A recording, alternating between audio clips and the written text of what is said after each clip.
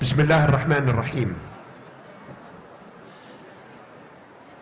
الصبي القروي الذي سار لمسافات طويله الصبي القروي الذي سار لمسافات طويله كي يلتقي برئيس الجمهوريه في البلديه ما هو الان سيتكلم بعد التقديم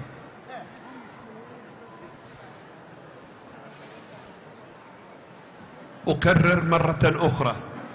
الصبي القروي الذي سار على أقدامه لمسافات طويلة ليذهب إلى البلدية كي يلتقي برئيس الجمهورية شكر القوتلي ويلقي أمامه قصيدة.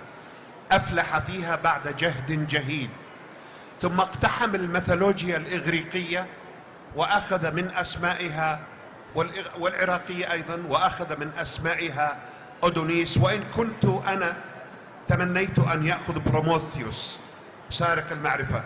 وإن كان اودونيس وبروموثيوس كلاهما مثل ما يقولون وجهان لعملة واحدة.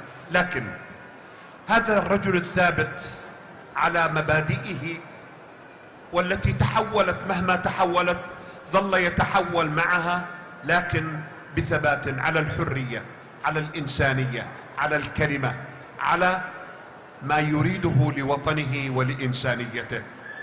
أنا لا أزيد في الكلمات سوى كلمة واحدة أقولها.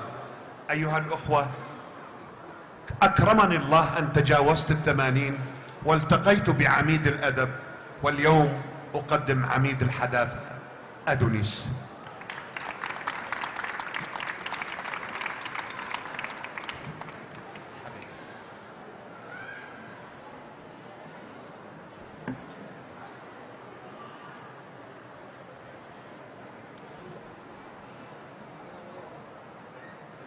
الأخوات والأخوة الحضور. هذب هذب في جنسه ونال المدى بنفسه فهو وحده جنسه. هذا هو أبو تمام يتحدث عن فرادته شخصا وشعرا ويبدو اليوم كأنه يتحدث عن المعري وعن طه حسين صديقيه في البصر الذي يستبصر ويستشرف وفي البصيرة التي تتلمس وترى. ألتقي المعري دائما كل يوم تقريبا والتقيت طه حسين مرة واحدة في بيته قبيل الخامسة من حزيران 1967 الرمز الأكبر لانكسارات العرب في تاريخنا الحديث فهو حدث حاسم على الصعيدين السياسي والثقافي داخليا وعلى صعيد العلاقة بين الذات والآخر كونيا. أرخت لهذا اللقاء فكتبت حوله مقالة نشرتها في جريدة لسان الحال آنذاك في بيروت بعنوان منمنمة عربية في تمثال يوناني. وقد كشف لي حوارنا في ذلك اللقاء. طه حسين وأنا عن هواجس كثيرة مشتركة بيننا. أكتفي الآن لهذه المناسبة الاحتفائية أن أذكر أمرين أساسين يشغلان العاملين في الحقول الفكري والفن والثقافة بعامة. الأمر الأول هو أننا نحن العرب. لا يمكن أن نتحرر حقا سياسيا وثقافيا إلا إذا تحررنا بدئيا في كل ما يتصل بالعلاقة مع ماضينا بحيث ننظر إليه على الأقل كما نظر وينظر أقراننا في الوحدانية التي نشأت في عالمنا العربي اليهودية وشقيقتها الوحدانية المسيحية كما نظر هؤلاء الأقران إلى تاريخهم الماضي وإلى موروثاتهم الدينية والثقافية والسياسية بحرية كاملة.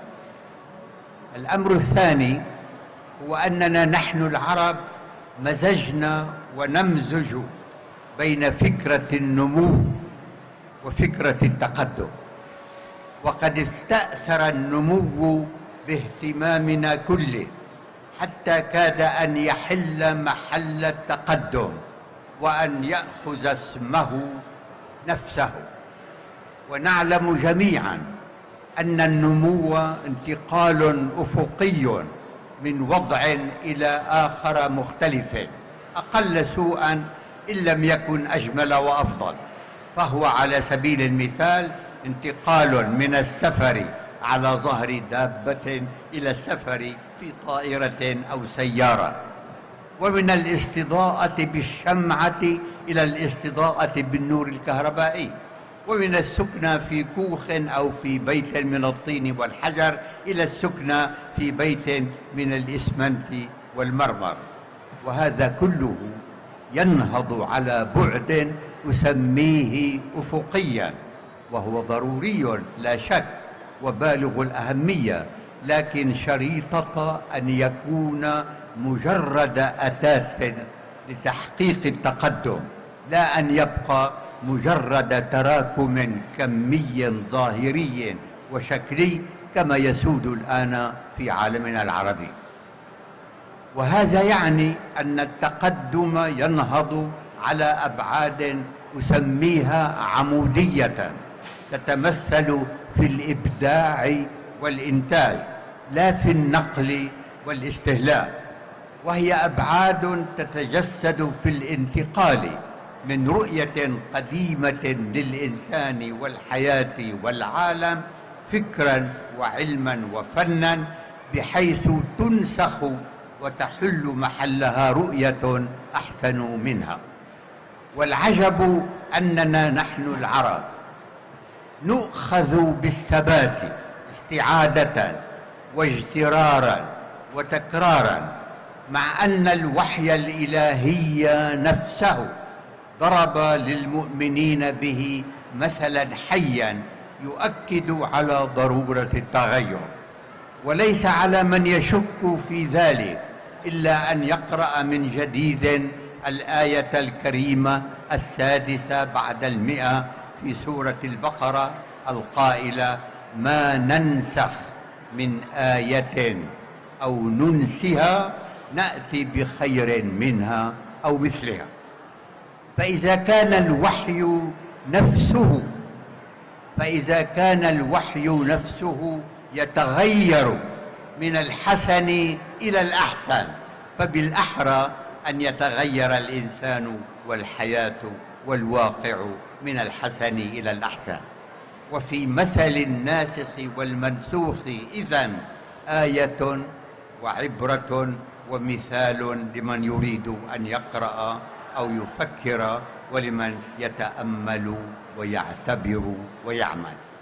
هكذا تتيح لنا فكرة التقدم أن ننتقل من عالم التبعية إلى عالم الإبداع ومن حالة النقل والاستهلاك وإعادة الإنتاج إلى حالة النقد والاستبصار والتجاوز الخلاق والمشاركة في بناء الحضارة والإنسان وفي إبداع الأفضل والأجمل على المستوى الكوني.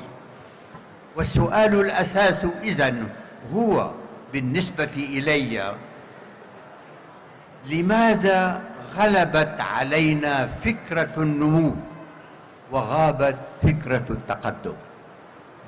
وليس لماذا تقدم الغرب وتخلف العرب كما صيغ في سمين فيما سميناه خطاب عصر النهضة.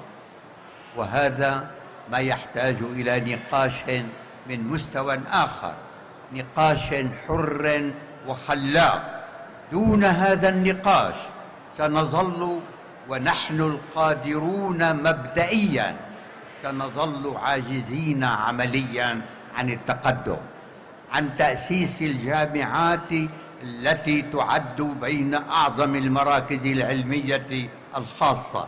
والمعرفية العامة في جميع الميادين وعن تأسيس أبهى المتاحف وأعظم دور للاحتفاء بالكتاب كتابة ونشرا وعن أن نجعل من بلادنا أرحب عالم لاستقبال الآخرين من أهل الإبداع على المستوى الكوني وأعلى مكان للإنسان حريات وحقوقا.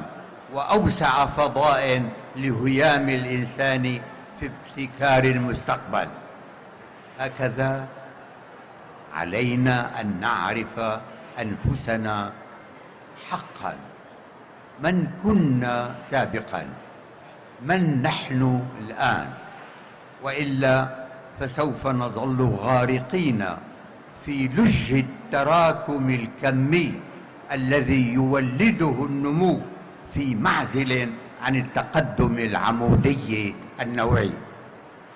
دون ذلك ستنشأ أيضا مشكلات معقدة تحول دون أن نرى أنفسنا حقا ودون أن نعرف من نحن حقا ودون أن نعرف كذلك من هذا الآخر الأجنبي الذي يحيط بنا ويطوقنا من جميع الجهات.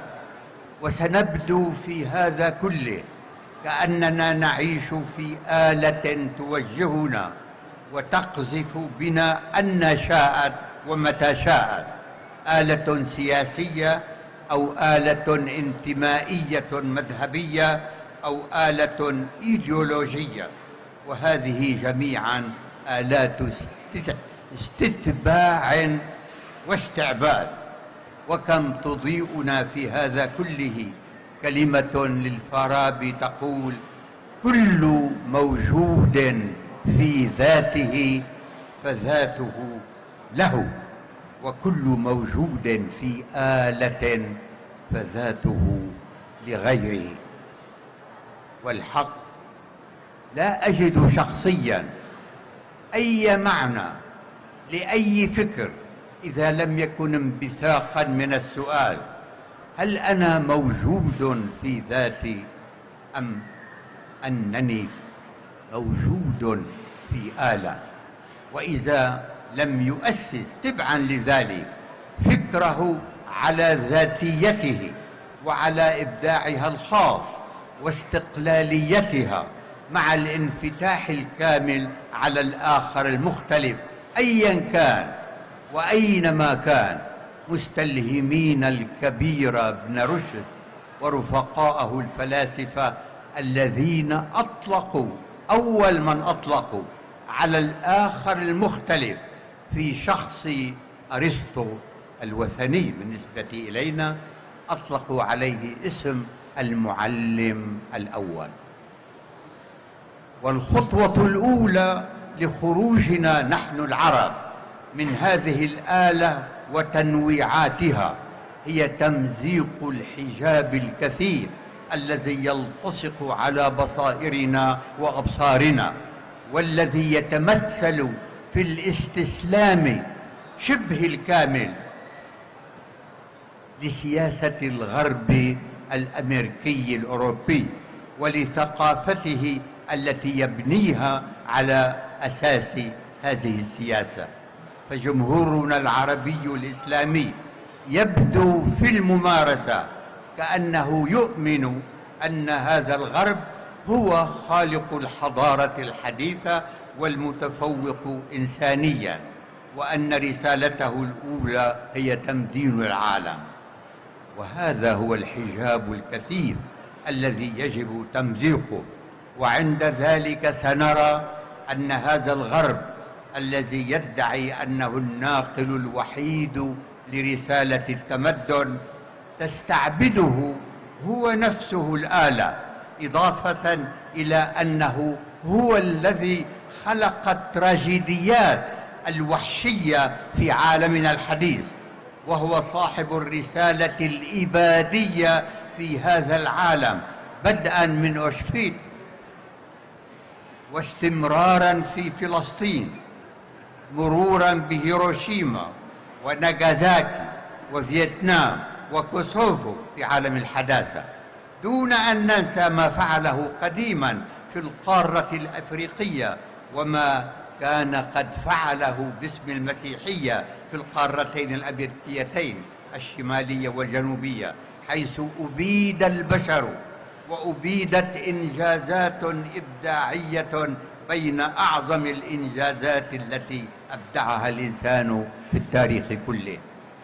مع هذا لا نزال نحتضن مدنية غربية شكلية ليست منا وليست لنا. وتصنع في معزل كامل عن مشكلاتنا وهمومنا وآفاقنا الإنسانية. وتسهم ثرواتنا في تحقيق بعض منجزاتها. ونحن إلى هذا كله نتبنى هذه المنجزات استيرادا واستهلاكا ونصر على رفض المبادئ العقلية التي أدت إلى إنجازها. هكذا نعيش في انفصامين الانفصام عن الذات والانفصام عن الآخر المختلف. ونمارس عمليا ثقافة تابعة وتبعية لا مثيل لها في تاريخ الشعوب. أحيي الأساتذة المشاركين في هذه الندوة الذين سيضيئون جوانب كثيرة في الأفق الرؤيوي العربي الحديث الذي أسس له على الرغم من جميع العوائق جيل من المفكرين العرب في طليعتهم طه حسين. السادة المشاركون في هذه الندوة الأخوة والأخوات الحضور. كنت أود أن أسمع إلى ما سيقال وأشارك في النقاش لكنني أعتذر منهم جميعا لأن علي أن أذهب إلى المطار. أعتذر على نحو خاص من الصديق الأستاذ نجم عبد الكريم.